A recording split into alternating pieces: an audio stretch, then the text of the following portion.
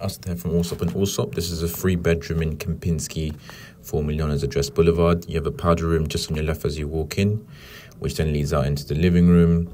And you have your selection of bedrooms on either side of the property. Just over on the right, past the dining table, you have your kitchen, a laundry room, which then also leads onto the maid's room just behind it as well. This is one of two balconies on the back end of the property, views onto DIFC, as you can see there. Coming back into the living room, you have a bedroom here just on your right. All bedrooms are ensuite inside of this property, floor to ceiling windows, and will come fully furnished. You saw views of DIFC on from this side. As you come back into the living room now and head over to the second bedroom, again, same thing, fully furnished, floor to ceiling windows, nice and bright, and lots of storage space.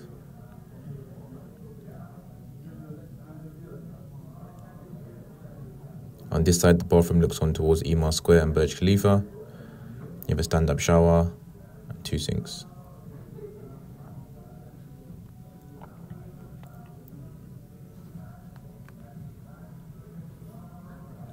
The living room also looks directly onto Burj Khalifa. As you come out onto the balcony as well, you have that same view.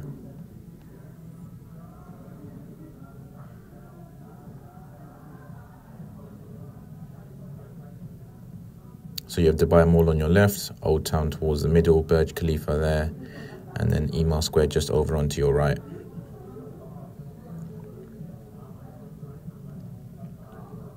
So come back into the living room now, and we're going to head over to the final bedroom.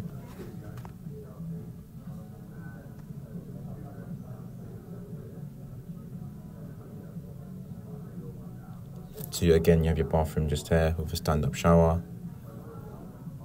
also, and a bathtub.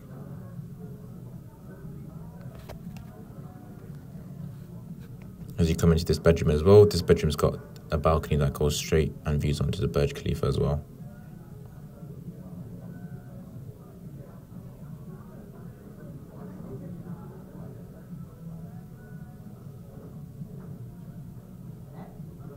And again, you have the same view from the living room.